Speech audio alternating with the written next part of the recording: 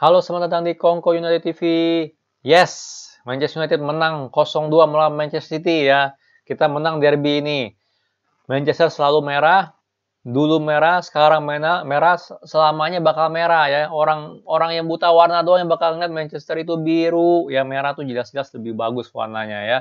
Oke, ini kalau gue bilang jalannya pertandingan gimana, sesuai dengan prediksi gue, kita bakal bertahan dan kita penting banget bertahan ketemu tim kayak Manchester City jelas Manchester City ya, sekarang ini formnya segala macam dari pemain itu jauh di atas kita tapi kita berhasil mencuri tiga poin. Dan itu menurut gue penting. Agree atau enggak yang namanya derby ataupun lawan uh, tim sekuat Manchester City itu harus harus harus harus harus harus bisa menang ya kan? Menang apa pun juga itu adalah sebuah pemenangan yang sangat bagus tiga poin yang sangat bagus ya dulu mainnya seperti apa ya. Kita main 10 menit pertama cukup oke okay ya sebenarnya kayak berusaha untuk nyerang, berusaha pressing dengan bagus tapi setelah itu kelihatan rencana oleh adalah parkir bus ya, bukan cuma parkir bus, mungkin kalau katanya Bung Binder parkir pesawat ya. ya kelihatan banget sering banget spread mundur menjadi back 5 ya eh, di lini pertahanan Manchester United.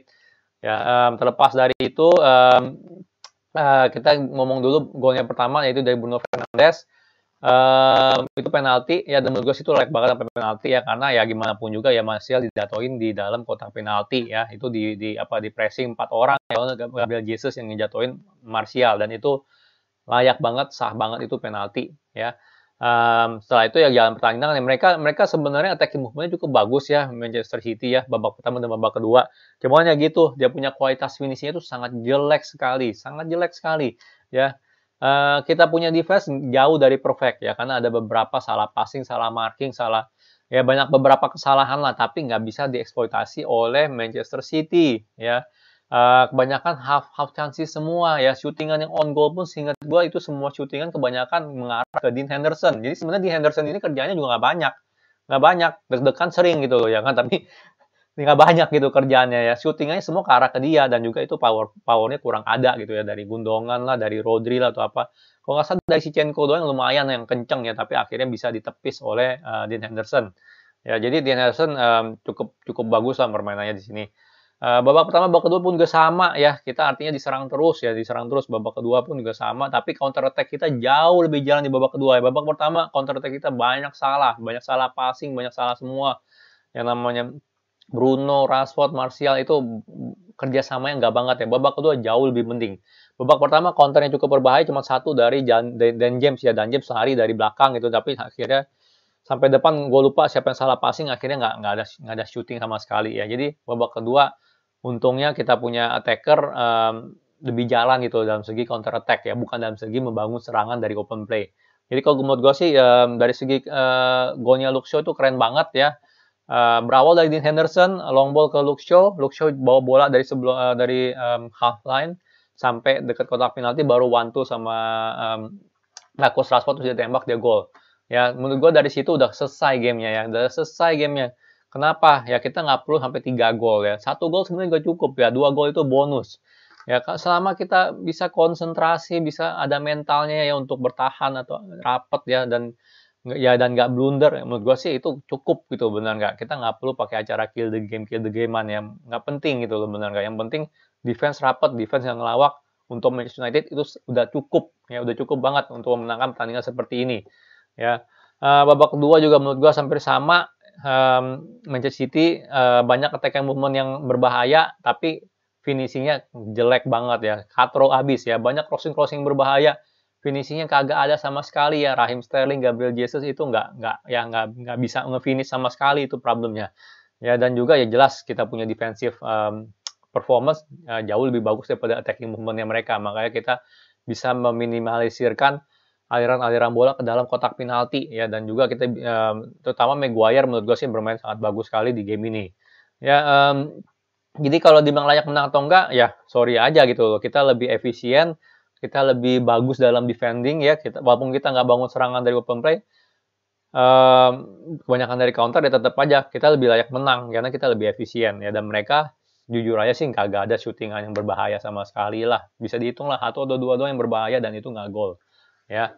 Um, kita lihat dari line up uh, dari segi line up uh, Dean Henderson main bagus ya, walaupun gak banyak kerjaan seperti gue bilang ya, um, kebanyakan syutingannya itu uh, katro semua Manchester City dan beberapa yang bagus pun itu um, apa namanya mengarah ke dia gitu dan itu nggak terlalu kencang. Jadi Dean Henderson main cukup bagus dan menurut gue sih De kalau emang mau ini harus cepet-cepet balik nih. Kalau nggak Dean Henderson bisa jadi favoritnya Ole nih. Udah dua kali kan ya dia clean sheet atau tiga kali clean sheet gue lupa deh.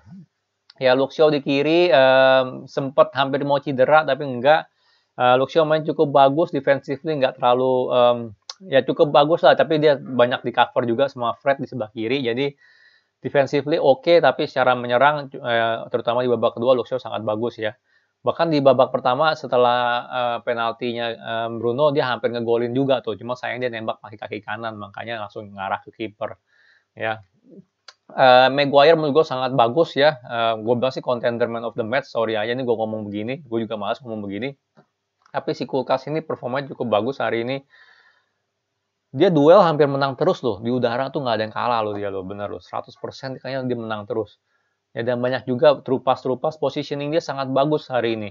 Ya trupas-trupas banyak yang dibuang sama dia, crossingan banyak dibuang sama dia. Jadi Maguire kalau gue masih cukup bagus mainnya. Saya bagus sekali lah mainnya hari ini. Untuk hari ini Lindelof menurut gue bagus juga mainnya tapi masih kalah sama Maguire ya. Masih ada beberapa kesalahan-kesalahan yang Lindelof lakukan. Tapi kalau Maguire kayaknya gue sama sekali nggak ngeliat dia melakukan kesalahan ya sama sekali kayaknya saya sih nggak melakukan kesalahan sama sekali. Lindelof masih ada dua atau tiga kali lah melakukan kesalahan ya. Wan Bisaka babak pertama um, menurut gua nggak gitu efektif ya dari segi menyerang ataupun dari segi defensif.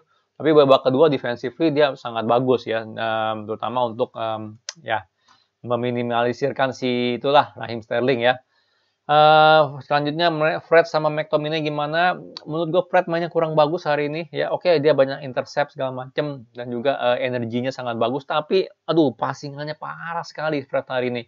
Banyak banget salah passing. Bahkan babak pertamanya dia mau merasa kayak Ronaldo kali ya bawa bola udah udah udah di pressing tiga orang masih aja mau coba ngelewatin gitu ya. Tapi ya kita harus hargain lah sama uh, kerja kerasnya Fred ya tapi menurut gue sih hari ini dia kurang gitu bagus karena ya gitulah uh, banyak sekali miss passing miss passing yang yang dia lakukan ya uh, terlepas dari energi dia yang sangat positif. Ya McTominay pun ya menurut gue 11-12 sama Fred um, dari segi um, apa namanya uh, marking orang menurut gue McTominay lebih bagus dari Fred hari ini ya. Intercept dia nggak banyak melakukan Fred lebih banyak uh, bergerak kiri kanannya untuk melakukan intercept bola tapi dari segi marking orang menurut gue cukup cukup kuat McTominay hari ini ya. Um, beberapa ada salah passing salah passing juga tapi menurut gue sih defensively dia, uh, McTominay cukup cukup bagus hari ini. Uh, Daniel James menurut gue oke okay mainnya ya cukup bagus uh, beberapa lari yang dia lakukan cukup berbahaya tapi sayangnya sekali lagi kita punya attacking movement masih kurang bagus ya hari di game ini masih kurang bagus babak kedua masih lebih mending tapi kelihatan banget banyak banget salah passing banyak banget uh, kayak kayak nggak ada kerjasama yang kurang solid gitu antara Bruno, Rashford, Martial sama Daniel James ya. Tapi jelas Daniel James kalau udah megang bola, dia lari, dia coba mengeksploitasi space. Itu yang kita perlu ya karena dia gesit, cari aja space, jangan langsung main passing. Kalau main passing langsung ya momentumnya hilang juga gitu loh ya kan. Momentumnya hilang juga. Um, jadi nggak harus selalu passing mulu gitu. Dia kalau emang ada ruang ya coba aja lari dulu bener nggak. Kalau ada ruang dia lari, akhirnya dia menarik defender lawan kan dia nyiptain free space buat temennya bener nggak? Jadi nggak harus langsung dapat bola kena pressing terus langsung passing ke, ke siapa gitu bener. Kalau nggak itu nggak selesai selesai bisa bisa muter-muter di situ doang ya. Uh, Bruno Fernandes kurang bagus ya menurut gue ya ya rata-rata lah ya terlepas dia penalti ngegolin. Masih kayaknya sih masih belum balik Bruno Fernandes yang kita kenal sebelum ya sebelum Januari ini atau pas Desember kemarin ya masih belum balik menurut gue Marcus Rashford pun juga menurut gue masih walaupun dia ada assist ke Luke Shaw tapi uh, ada satu momen di mana dia harusnya nembak gitu ya. Kalau nggak dia bisa dapat gol itu loh benar nggak bisa dapat gol tapi dia nggak lakukan. Jadi dari segi um, apa namanya handle bola cukup bagus Rashford ya um, dribbling bola segala macam tapi yang di, di apalagi uh, dia punya apa dia punya save ya dari counter attacknya. Ada kan yang bikin dia cedera itu kan counter attacknya itu. Counter attacknya Manchester City yang dia uh, yang dia selamatkan sama Marcus Rashford itu cukup bagus juga tapi dari segi dari segi keputusan di dalam kotak penalti menurut gua Rashford masih masih kagok jujurnya masih kagok ya karena ada satu kesempatan di mana dia harusnya nembak malah dia coba passing ke Martial di mana di, di antara dia sama Martial itu ada, ada dua orang um, ada dua orang defendernya Manchester City gitu. Jadi ya percuma benar nggak? Harusnya dia ada ruang tembak langsung gitu loh. Harusnya itu gol tuh bisa 3-0 nih harusnya. Ya Martial mainnya oke okay, ya Martial selalu problemnya adalah satu ya. Uh, ya dua lah sebenarnya. Ya satu dia kadang suka males benar nggak? Yang kedua adalah dia finishingnya katro ya. Yang hari ini dia nggak terlalu males. Hari ini jujur aja uh, dan hold up play-nya sangat bagus. Ya dia bisa nahan bola segala macam tapi problemnya adalah finishingnya ya finishingnya itu ya menurut gue sih Martial harus benar-benar latihan lagi finishing ya karena ada satu ya, dari bola mental eh, bola muntahan itu dia tinggal ada ngalahin kiper bukannya ke tiang jauh malah dia ke tiang deket ya itu mah gampang banget lah untuk diselamatin sama kiper sekelas Ederson gitu. Jadi Martial PR-nya untuk finishing masih banyak banget.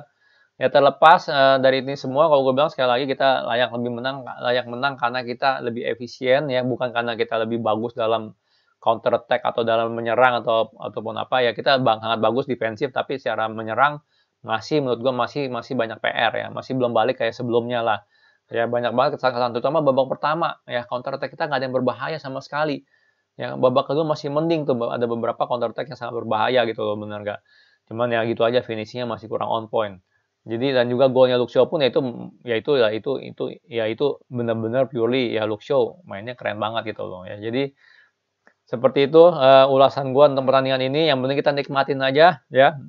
Manchester is uh, red will always be red ya. Ingat tuh ya. Jadi yang buta warna doang yang bilang Manchester is blue ya. Ya itu doang itu yang buta warna. Oke. Okay? Uh, sekian video kali gue. Kalau suka jangan lupa like, subscribe, and thank you for watching.